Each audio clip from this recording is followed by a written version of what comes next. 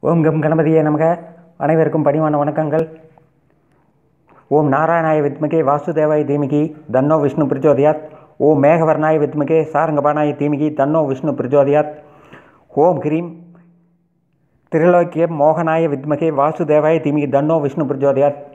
குருவடி சரணம் திருவடி சரணம். ஹரி ஓம் நன்றாக குருவாழ்க குருவே துணை. அனைவருக்கும் பணிவான வணக்கங்கள். லைக் பண்ணிக்கங்க சப்ஸ்கிரைப் பண்ணிக்கங்க ஷேர் பண்ணிக்கங்க பெல் ஐக்கானை கிளிக் பண்ணிக்கங்க. இன்னும் வீடியோ தொடர்ந்து கொண்டே இருக்கும். அனைவரது நல்லாதரவுடன் அதாவது ஜாதகத்தில் ஆறு சாஸ்திரத்தில் நிபுணன் எப்படி இருப்பாங்க? அப்படின்னு சொல்லும்போது குரு பகவான் கேந்திரத்திலும் ஜனன ஜாதகத்தில் சுக்கிர பகவான் சிம் சிம்ஹாசன அம்சத்திலும் புத பகவான் ரெண்டு குடையவர் இருக்கும் நவாம்சம் கோபுராம்சம் இவற்றிலும் ஆறு சாஸ்திரங்களில் நிபுணனாக இருப்பான்.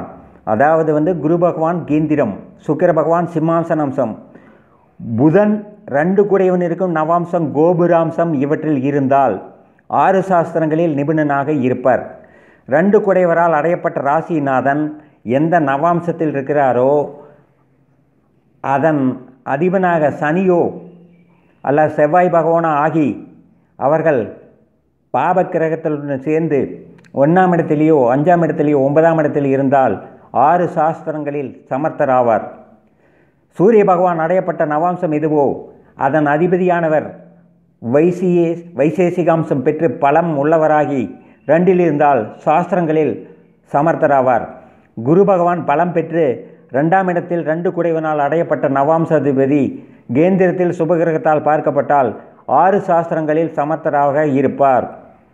வேதாந்தம் மரிதலுக்குரிய யோகம். லக்னாதிபதி ரெண்டாம் இடத்திலும் ரெண்டு குடையவன் பரவதம்சத்திலும் இருந்தால் வேதாந்தம் அறிந்தவர் ஆவார். புத பகவான் லக்னத்திலும் ரெண்டு குடையவன் பாராவதம்சத்திலும் பன்னெண்டில் சுக்கிரன் இருந்தால் வேதாந்தம் அறிந்தவர் ஆவார்.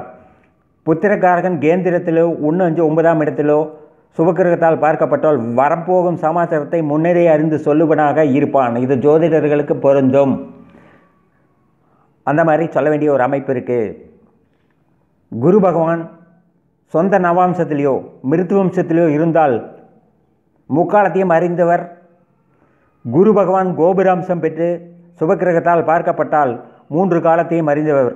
அதாவது வந்து குரு பகவான் ராசியில் இருக்கிறத விட சொந்த நவாம்சத்தில் இருந்தால் முக்காலம் தெரிஞ்சவர் ஆவார் என்று கிரந்தங்கள் கூறுகின்றன. அதே மாதிரி வந்து பத்தாம் இடத்த அதிபதி தேவலோகாம்சம் பெற்று சுபக்கிரகத்தால் பார்க்கப்பட்டால் பிரம்மனிஷ்டனாக இருப்பான். ஒன்பது குடைவன் பாராவது அம்சம் பெற்று சுபக்கிரகத்தால் பார்க்கப்பட்டால் பிரம்மனிஷ்டனாக இருப்பான். குரு பகவான் கேது பகவான் ராகு பகவான் சனி பகவான் இவர்களின் கூடிய சுக்கரனால் பார்க்கப்பட்டால் தொழிலாளியும் வித்வானாவான். அதாவது வந்து ஏதோ அந்த வேலை இந்த வேலை செஞ்சுட்டு கடைசியில் பார்க்கும்போது வித்வான். வித்வான் அப்படின்னு செஞ்சதும் ஜோசி தான் வித்வான் கிடையாது. எத்தனையோ விதத்தில் வித்வான் இருக்காங்க அந்த மாதிரி. அதாவது வந்து அந்த காரணத்துக்கு தகுந்த மாதிரி அவங்களுக்கு வித்வம் வித்வம் வரும். அதே மாதிரி வந்து சுபக்கிரகத்தின் சேர்க்கை பெற்ற ராகு பகவான் சூரிய பகவான் இவர்கள் நவாம்சர் லக்கத்தை அடைந்து பாப கிரகத்தின் கூடினால் விஷ வைத்தியம் செய்பவர்.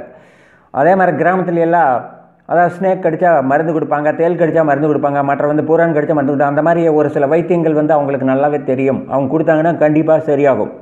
அந்த மாதிரி. அதே மாதிரி வந்து சர்ப்பசாபத்தால் சக்தியற்றவன் எல்லா கிரகங்களும் பலமற்றிருந்தால் சந்ததியற்றவனும் ஆவான். ராகு பகவான் அஞ்சாம் இடத்திலிருந்து செவ்வாயால் பார்க்கப்பட்டால் ஸ்னேக்கின் சாபத்தால் புத்திரனற்றவர் ஆவார் சனி பகவான் அஞ்சிலிருந்து சந்திரனால் பார்க்கப்பட்டும் அஞ்சு கூடையவன் ராகுவுடன் கூடியிருந்தால் ஸ்னேக்கின் சாபத்தால் பிள்ளையற்றவன். ஆவான் புத்திரக்காரகன் ராகுவுடன் கூடியும் அஞ்சு குடியன் பல மற்றும் செவ்வாய் நவாம்சநாதன் இவர்களும் சேர்ந்து வந்தால் ஸ்னேக்கின் பா சாபத்தால் புத்திரனற்றவர் ஆவார். அஞ்சாம் இடம் புத்திரக்காரகனுடன் சேர்ந்து ராகு லக்னாதிபதியுடன் சேர்ந்து அஞ்சு குடைவன் ஆறு எட்டு பன்னெண்டிலும் இருந்தால் சர்ப்பத்தின் சாபத்தால் பிள்ளையற்றவர். செவ்வாய் தனது நவாம்சத்திலும் அஞ்சாம் இடத்துக்கு அதிபதியான புதன் பாவகிரகத்துடன் சேர்ந்து வந்தால் சர்ப்ப சாபத்தால் புத்திரனற்றவர் ஆவார். அப்புறம் ரெண்டு பாயிண்ட் தான். பிதிருசாவத்தால் புத்திர தோஷம் ஏற்படுதல் அஞ்சு குடையவன் சூரிய பகவான் பாபகிரகங்கள் நடுவிலோ ஒன்னஞ்சு ஒன்பதாம் இடத்திலோ இருந்து பாபகிரகத்தால் பார்க்கப்பட்டால் பித்ருசாபத்தால் புத்திரனற்றவர் ஆவார் சூரிய பகவான் அஞ்சாம் இடத்தை அடைந்து பாபகிரகத்தின் நடுவிலும் சனி பகவான் செவ்வாய் பகவான் இவர்கள் நீசத்தில் இருந்தால் புத்திரனற்றவன் ஆவான். சிம்மராசியில் குருவும் அஞ்சு குடியின் சூரியனும் சேர்ந்து பாவர்கள் அஞ்சாம் இடம் லக்னம். இவற்றை அடைந்து இருந்தால் பிதிரு சாபத்தால் புத்திரனற்றவர் ஆவார் சூரிய பகவான் எட்டாம் இடத்திலும் சனி பகவான் அஞ்சிலும் அஞ்சு குடையவன் ராகுவுடன் சேர்ந்தால் பிதிர்களின் சாபத்தால் புத்திரனற்றவர் ஆவார். பன்னெண்டு குடையவன் லக்னத்திலும் எட்டு குடையவன் அஞ்சிலும் பத்து குடையவன் எட்டிலும் இருந்தால் பிதிர்களின் சாபத்தால் புத்திரனற்றவர் ஆவார். இது ரொம்ப கடுசு. மாதுரு சாபத்தால் புத்திரனற்றவர் என்று கிரந்தங்கள் சொல்லியிருக்கின்றன. அஞ்சு குடையவனான சந்திர பகவான் நீசனாகவோ பாபகிரகத்தின் மத்தியிலோ இருந்து பாவர்கள் அஞ்சு நாலாம் இடத்திலோ மாதுரு சாபத்தால் புத்திரனற்றவன் என்கிறது கிரந்தம். ஜென்ம லக்னமான விருச்சிகத்தில் சனி பகவானும் நாலாம் இடத்தில் பாபர்களும் அஞ்சாம் இடத்தில் சந்திரனும் இருந்தால் மாதாவின் சாபத்தால் புத்திரனற்றவன் ஆவான். ஆகவே அதாவது வந்து எண்ணிய முடிதல் வேண்டும் நல்லவே எண்ண வேண்டும். நலம் பெருக வளம் பெருக. அனைவருக்கும் பணிவான வணக்கங்கள். நன்றி வணக்கம். சித்தி சிவா ஜோதிடத்தின் எஸ் தங்கவேல் கவுண்டர். வணக்கம் வணக்கம் வணக்கம் வணக்கம்.